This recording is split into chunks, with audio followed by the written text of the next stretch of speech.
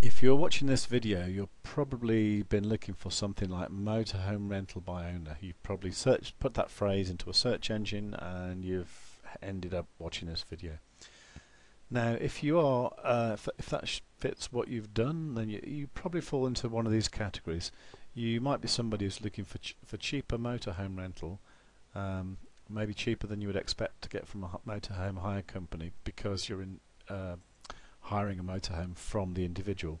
Uh, sometimes this is true, sometimes it isn't. It depends on on the motorhome. Obviously, it depends on the owner. Um, you have to look into things like insurance and what happens if things go wrong. Um, a, motorhome hire company is a better bet in my mind.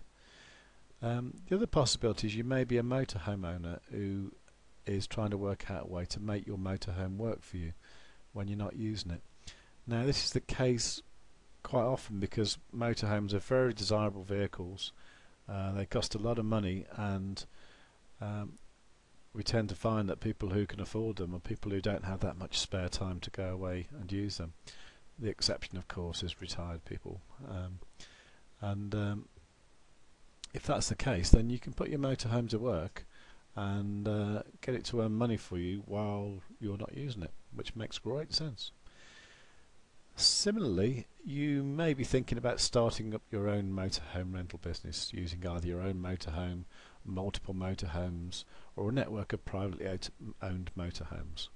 Um, a, a, motorhome owners club might be might be an example of this. Um, either way, uh, it's worth getting this report. This is available on motorhomesdirect.co.uk, and there's a form to fill in. It's a it's not too long, It's just a few little questions name, phone number. And as soon as you uh, fill that in, send it off, you'll get your free copy of the report. It's a really good read. It's written by Andrew Hughes of uh, Motorholme, and uh, it's it's interesting. Um, if you have any more questions after you've read that, there are details about how to contact uh, how to contact Andrew, um, and also a guy called Stephen Moss, who are both very much involved with the self hire scheme. Okay, thanks for watching and goodbye.